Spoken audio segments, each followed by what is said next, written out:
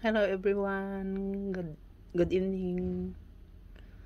Dahil bawal pong kumain sa labas, kaya bili na lang ng pagkain at dito na lang sa bahay kainin. Ito po ang aking pagkain ngayon. Salted egg, red sausage, roasted duck, and roast pork. Walang gulay. At saka rice.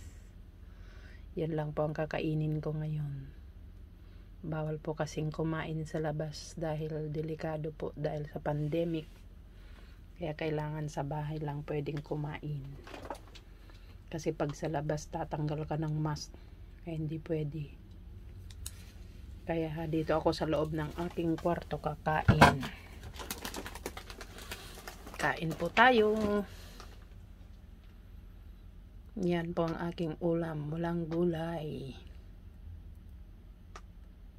Yan. Kain po.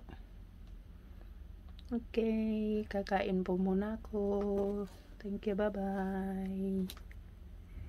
Kain-kain na. Nagutom.